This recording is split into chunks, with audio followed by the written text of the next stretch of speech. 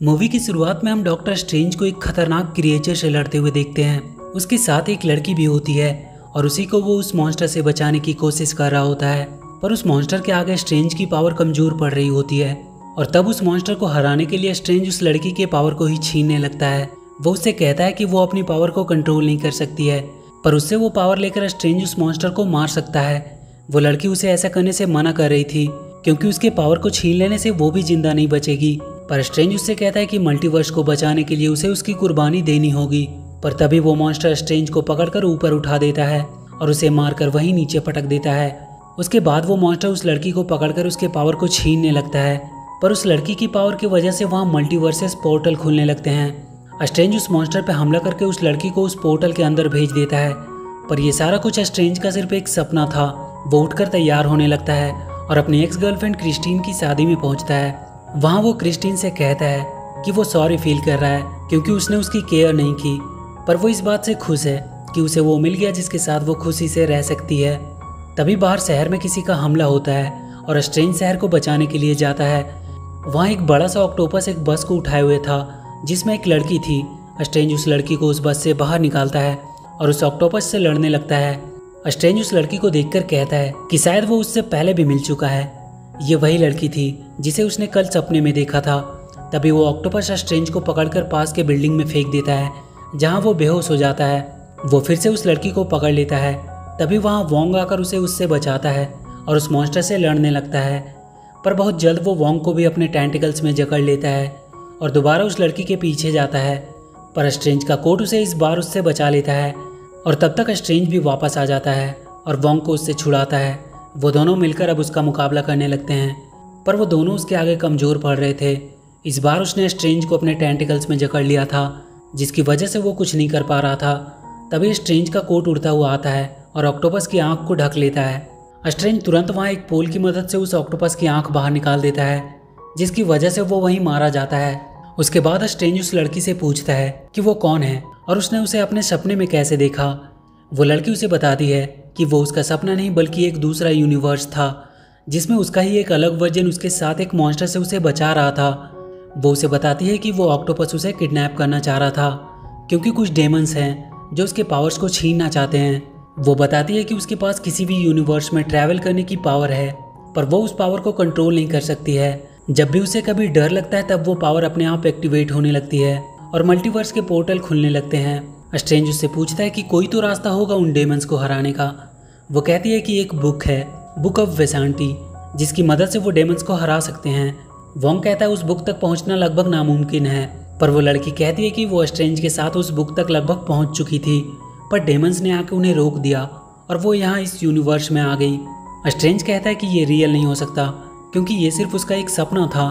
वो लड़की उसे प्रूफ के तौर पर दूसरे यूनिवर्स के स्ट्रेंज की लाश को दिखाती है, जो उसके साथ यहाँ आ गई थी। ये देखकर स्ट्रेंज और वोंग को भी अब उस लड़की पे भरोसा हो जाता है कि वो जो कह रही है वो बिल्कुल सही है। स्ट्रेंज वोंग से कहता है कि इस लड़की की जान पे बहुत खतरा है, उन्हें इसे सेफ़ रखना होगा। वोंग उस लड़की से उसका नाम पूछता है। वो अपना नाम उन्हें अमेरिका चैविस बताती है। वोंग उसे उनके साथ कमर ताज चलने को कहता है, क्योंकि वहाँ वो सेफ़ रहेगी। वो स्ट्रेंज की लाश को वहीं दफना देते हैं। आगे हम वांडा को देखते हैं, जो अपने दोनों बच्चों के साथ घर पे इंजॉय कर रही होती है। पर यह सब उसका सिर्फ़ एक सपना था। जिसे वो वास्तविकता में बदलना चाहती थी। वो अपने गार्डन में फूल तोड़ रही होती है। तभी उससे मिलने स्ट्रेंज आता है। वो उससे मल्टीवर्स के बारे में पता करने आया था। वो उसे बताता है कि उसके पास एक लड़की आई है, किसी दूसरे यूनिवर्स से, और कुछ डेमंस उसके पीछे पड़े हुए हैं, जो उसके पावर्स को हासिल करना चाहते हैं। वो लोग उसे कमरताज लेके आए हैं, ताकि वो फ़िलहाल सेफ़ रह सके। स्ट्रेंज वॉन्डर से कमरताज आकर एक बार उस लड़की से मिल लेने को कहता है। वांडा उससे कहती है कि तुम अमेरिका को यहाँ उसके पास क्यों लेकर नहीं आ जाते? वो उसके साथ सेफ़ भी रहेगी। पर स्ट्रेंज सोच में पड़ जाता है, क्योंकि अभी तक उसने वांडा को उस लड़की का नाम नहीं बताया था, पर उसे पहले से उसका नाम पता था। पर तब वांडा उसके सामने से सारा इल्यूजन हटा देती है। वांडा अब स्कारलेट विच बन चुकी थी। स्ट्रेंज देखता है उसने डार्क होल्ड बुक को खोल लिया था, जिसकी वजह से उसकी शक्तियाँ उसी पर हावी हो गई थी। वांडा उससे कहती है कि इस बुक की मदद से उसके पास वो सब वापस आ सकती है, जो कभी उसका हुआ करता था। वो कहती है कि वो इस यूनिवर्स को छोड़ देगी और वहाँ चली जाएगी जहाँ वो अपने बच्चों के साथ रह सकती है। इस पर स्ट्रेंज कहता है कि उसके बच्चे कभी रियल नहीं थे। उसने उन्हें अपनी मैजिक से बनाया था। और अगर वो ऐसा करती है तो ये नेचर के लॉ का उल्लंघन होगा। और अगर उसने चैविस से उसका पावर छीन लिया तो वो ज़िंदा नहीं रह पाएगी। वांडा उससे कहती है कि तुम्हें नहीं लगता? तुम्हारे मुँह से ये नेचर के लॉ के उल्लंघन वाली बात सही नहीं लगती। क्योंकि उसने भी तो वही किया था थैनोस को टाइम स्टोन देकर। तुम नियम को तोड़कर हीरो बन जाते हो। और अगर वो ऐसा करे तो वो उसके लिए दुश्मन बन जाती है। वो कहती है कि आज सूरज डूबने के पहले वो लोग चाविस को शांति से उसके हवाले कर दे, और उसके बाद वो उसे कभी नहीं दिखेगी।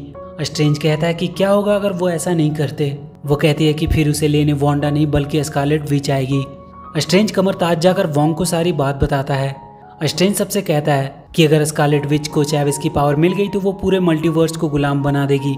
वोंग अपने सारे आदमियों को उसे रोकने के लिए तैयार होने को कहता है। सारे लोग कमर ताज की हिफाजत के लिए अपनी अपनी पोजीशन ले लेते हैं। और तभी कुछ देर बाद पूरे कमर ताज के आसपास काला धुआँ उठने लगता है और वांडा उनके सामने आती है। स्ट्रेन जाकर उससे बात करता है और उसे ये सब रोकने को कहता है, पर वो नहीं मानती है। और स्ट्रेंज को अपने रास्ते से हट जाने को कहती है, क्योंकि वो अपने बच्चों के पास जाने के लिए वो किसी भी हद तक जा सकती है। वो स्ट्रेंज पे हमला करती है, पर उसके आगे कमर ताज के लोगों ने एक मज़बूत शील्ड बना दिया था। जिसपे वांडा का कोई पावर काम नहीं करता है, वो कमर ताज पे भी हमला करती है, पर हर जगह उन लोगों ने शील्ड बनाई हुई थी। वांडा अपनी दूसरी चाल चलती है, वो वहाँ एक आदमी के दिमाग में जाती है और उसे वहाँ से भागने को कहती है, जिसकी वजह से उनका सिल टूट जाता है और उसके बाद वांडा वहाँ पे हमला करती है। कुछ देर तक वो सब वांडा के वार को झेलते हैं, पर बहुत जल्द वो सब उसके आगे हार जाते हैं। वो वहाँ सब कुछ तबाह कर देती है पर तब तक स्ट्रेंज उस लड़की को बचाने के लिए उसे वहाँ से कहीं और छुपा देता है और खुद जाकर वांडा के सामने खड़ा हो जाता है। वो वांडा को मिरर इल्यूजन में फंसा देता है, जहाँ उसके पावर्स भी काम नहीं कर रहे थे, पर वो अपने रिफ्लेक्शन के थ्रू उन तक पहुँचने की कोशिश करने लगती है। स्ट्रेंज और वंग जल्दी से वहाँ के सारे रिफ्लेक्शन वाली चीज़ों को ढकने लगते हैं, पर किसी तरह वांडा उन तक पहुँचने में सफल रहती है। वो उन सबसे कहती है कि चाहे वो कितनी भी कोशिश कर ले, वो उसे उसके बच्चों के पास जाने से रोक नहीं सकते। वांडा उन सबको बहुत सारे यूनिवर्सेस दिखाने लगती है, जहाँ वांडा अपने बच्चों के साथ रह रही है। स्ट्रेंज कहता है कि जिस यूनिवर्स में तुम जाओगे, वहाँ के वांडा का क्या होगा? क्या वो उसे उसके बच्चों के साथ रहने देगी? और स्ट्रेंज वांडा पे हमला कर देता है, पर उसके पावर वांडा के सामने कुछ भी नहीं थे। वो स्ट्रेंज को दूर फेंक देती है। वोंग को भी वो मारकर वहीं बेहोश कर देती है, और चैविस को पकड़कर उसकी पावर को उससे निकालने लगती है। चैविस की डर की वजह से वहाँ किसी और यूनिवर्स का पोर्टल खुलने लगता है। और तभी स्ट्रेंज धक्का देकर चैविस को लेकर उस पोर्टल में कूद जाता है और वो दोनों कई सारे यूनिवर्सेस को पार करते हुए एक यूनिवर्स के न्यूयॉर्क शहर में पहुँचते हैं। स्ट्रेंज चैविस से कहता है कि उन्हें यहाँ से वापस उनके यूनिवर्स में जाना होगा, पर चैविस कहती है कि वो पोर्टल खोल नहीं सकती, क्योंकि उसके पावर पे उसका कंट्रोल नहीं है। स्ट्रेंज उससे कहता है कि उसका दूसरा वर्जन इस यूनिवर्स में ज़रूर होगा, वो शायद उसकी मदद कर सके। पर चैविस कहती है कि यहाँ उसका कोई दूसरा वर्जन नहीं है, क्योंकि वो खुद उसी यूनिवर्स की है। वो कहती है कि वो स्ट्रेंज के दूसरे वर्जन को ढूंढकर बुक ऑफ़ वेसेंटी का पता लगा सकते हैं और शायद उसकी मदद से वो वांडा को रोक पाए। वो दोनों स्ट्रेंज के दूसरे वर्जन को ढूँढने निकल जाते हैं। वहाँ रास्ते में उन्हें एक मशीन दिखाई देती है, जो लोगों की पुरानी यादों को वापस दिखाती थी। स्ट्रेंज उसमें देखता है जब वो क्रिस्टिन के साथ डेट पे गया था। उस दिन क्रिस्टिन ने उसे एक घड़ी गिफ्ट किया था। ये देखकर वो थोड़ा इमोशनल हो जाता है। चैविस भी अपनी यादों को देखती है, जिसमें उसके साथ उसकी दोनों मॉम्स होती है। पर उसकी डर की वजह से वहाँ कई सारे मल्टीवर्सेस पोर्टल खुल जाते हैं, जिससे उसकी मॉम्स किसी और यूनिवर्स में चली जाती है और वो किसी और में। स्ट्रेंज उससे कहता है कि एक दिन वो ज़रूर अपनी मॉम से मिल पाएगी। वो दोनों बात करते हुए स्ट्रेंज के घर के पास पहुँच जाते हैं। उन्हें वहाँ डॉक्टर स्ट्रेंज की स्टैचू दिखाई देती है, जिस पे लिखा होता है कि वो थैनोस से लड़ते हुए मारा गया। तभी वहाँ उन्हें कालमोडो दिखाई देता है, जिसने स्ट्रेंज को पहली बार कमरताज पहुँचाया था। वो स्ट्रेंज को अपने साथ अंदर लेकर जाता है। स्ट्रेंज उसे चैविस और अपने बारे में सब कुछ बताता है। वो उसे बताता है कि वॉन्डर ने डार्क होल्ड की पावर को हासिल कर लिया है, इसलिए उसे रोकने के लिए उन्हें उसकी मदद चाहिए। कालमोडो उन्हें बताता है कि उनके यूनिवर्स में भी डार्क होल्ड है, जिसकी पावर से कोई भी इंसान अपने कॉन्सेस को किसी और यूनिवर्स के अपने दूसरे वर्जन में प्रोजेक्ट कर सकता है और उसकी बॉडी को पोजेस करके अपने तरीके से इस्तेमाल कर सकता है। ये पोसेसन परमानेंट नहीं होता है, पर इससे वो उस रियलिटी में काफ़ी डैमेज कर सकते हैं। और अभी तक जो भी क्रिएचर चैविस का पीछा कर रहा था, वो हो सकता है कोई और नहीं, बल्कि स्कारलेट विच ही हो। और इस पोसेसन को वो ड्रीम वॉकिंग कहते हैं। स्ट्रेंज उससे बुक ऑफ़ वेसांटी के बारे में पूछता है, पर उसे चक्कर आने लगता है। कालमोडो ने उसके ड्रिंक्स में कुछ मिलाया था। वो दोनों वहीं बेहोश हो जाते हैं। इधर स्कारलेट विच अपने आप को उस यूनिवर्स के खुद की वर्जन में प्रोजेक्ट करने की कोशिश कर रही थी, जहाँ चैविस और डॉक्टर स्ट्रेंज थे। उसने वोंग को अपने पास बाँध करके रखा हुआ था। तभी वोंग के पास उसका एक आदमी आता है। और अपने चाकू से डार्क होल्ड की बुक को लेकर डिस्ट्रॉय कर देता है, जिसमें वो खुद भी मारा जाता है। वांडा का दूसरे यूनिवर्स से कनेक्शन टूट जाता है। वो देखती है कि बुक भी डिस्ट्रॉय हो चुका है। वो गुस्से में वोंग को मारने लगती है और उससे डार्क होल्ड की स्पेल पूछने लगती है, क्योंकि वो सॉर्सरर सुप्रीम था और उसे इसके बारे में पता था। वो कमरताज के लोगों को मारने की धमकी देकर उससे वो स्पेल पूछती है। वोंग उसे बता देता है कि डार्क होल्ड सिर्फ़ एक कॉपी थी, जिसमें वो स्पेल लिखे हुए थे। पर उसका असली पावर वैंडा कौर में है, पर वहाँ तक आज तक कोई पहुँच नहीं पाया है। पर वांडा उससे कहती है कि ऐसा करने वाले वो लोग पहले होंगे। इधर स्ट्रेंज की जब आँख खुलती है तो वो अपने आप को एक ग्लास सेल में पाता है। चैविस भी उसके बगल वाली सेल में थी। वो देखता है कि वहाँ क्रिस्टीन है। वो उसे बताती है कि वो लोग उसके लैब में रिसर्च पर्पज के लिए लाए गए हैं, क्योंकि वो किसी और यूनिवर्स से आए हैं। इसलिए वो लोग उसकी पूरी जाँच करना चाहते हैं। तभी वहाँ काल मोडो आता है। और उससे कहता है कि वो लोग उसे इल्यूमिनाटी के सामने पेश करने के लिए ले जा रहे हैं। स्ट्रेंज को समझ नहीं आता कि इल्यूमिनाटी क्या है। वांडा वोंग को लेकर वैंडाकोर पहुँच चुकी थी। वहाँ वो एक टूटे हुए खंडर में पहुँचते हैं। वोंग बताता है कि यही सबसे पहले एक डेमन ने उस पावर को हासिल किया था, और फिर बाद में उसे डार्क होल्ड बुक में लिखा गया। वांडा वहाँ लाइट जलाने लगती है। तभी चार बड़े मॉन्स्टर उनकी तरफ़ बढ़ते हैं। पर वो सब वांडा के आगे अपने आप को सरेंडर कर देते हैं। ऐसा लगता है वो लोग उसका ही इंतज़ार कर रहे थे। इधर स्ट्रेंज को इल्यूमिनाटी के सामने पेश किया जाता है। वहाँ हम कैप्टन कार्टर को देखते हैं। कुछ और भी सुपर हीरोज वहाँ थे, जैसे कि ब्लैक बोल्ट, मिस मार्बल और फैंटास्टिक फोर के रेड रिचर्ड। रिचर्ड स्टेन से कहता है कि उसका उनके यूनिवर्स में आना किसी खतरे से कम नहीं है, क्योंकि उसके पीछे कई मुसीबतें भी साथ आ सकती है, और उसने नेचर के लॉ को भी तोड़ा है। उन लोगों ने यूल्यूमिनाटी को बनाया ताकि डिफ़िकल्ट डिसीज़न ले सके, इसलिए आज वो डिसाइड करेंगे कि उसके साथ उन्हें क्या करना चाहिए। स्ट्रेंज उन्हें बताता है कि उनके ऊपर बहुत बड़ी प्रॉब्लम आने वाली है, स्कारलेट विच के रूप में। रिचर्ड उसे बताता है कि ड्रीम वॉकिंग को लेकर स्कारलेट विच से उनके लिए ज़्यादा खतरा उसके यूनिवर्स का डॉक्टर स्ट्रेंज था। वो उनसे कहता है कि क्या वो स्ट्रेंज जो थैनोस से लड़ता हुआ मारा गया, तभी वहाँ चार्ल्स आता है और कहता है कि इसे सच्चाई बता देनी चाहिए। वो बताते हैं कि वो सब थैनोस के साथ वॉर में थे, पर स्ट्रेंज हमेशा अपनी मर्ज़ी से काम करता था। उसने डार्क होल्ड की पावर ली और ड्रीम वॉकिंग करना शुरू कर दिया। पर एक दिन उसने उन सबको बुलाया और कन्फेस किया कि वो ड्रीम वॉकिंग कर रहा है। और ऐसा करते हुए एक बार उससे गड़बड़ हो गई और उसकी वजह से एक यूनिवर्स के सारे लोग मारे गए। और उसे डर है कि उसकी वजह से वो दोबारा ऐसी गलती कर सकता है। उन सबने बुक ऑफ़ वेसांटी की मदद से थैनोस को मारा, पर उनके सामने अभी भी दूसरा खतरा मौजूद था डॉक्टर स्ट्रेंज के रूप में। इसलिए उन सबने ब्लैक बोर्ड की मदद से स्ट्रेंज को खत्म कर दिया। इधर वोंग वांडा को समझाने की कोशिश कर रहा था कि वो चाहकर भी सब कुछ कंट्रोल नहीं कर सकती। पर वांडा उसे वहाँ के पहाड़ से नीचे फेंक देती है और अपना पोजेशन शुरू कर देती है। वो उस यूनिवर्स की वांडा को पोजेस करके अमेरिका चाविस के पीछे भेजती है। इल्यूमिनाटी के लोग अपने बिल्डिंग में किसी के हमले की आवाज़ सुनते हैं। वो कैमरे में देखते हैं वांडा ने उन पर हमला किया था। वो सब उसे रोकने के लिए चले जाते हैं।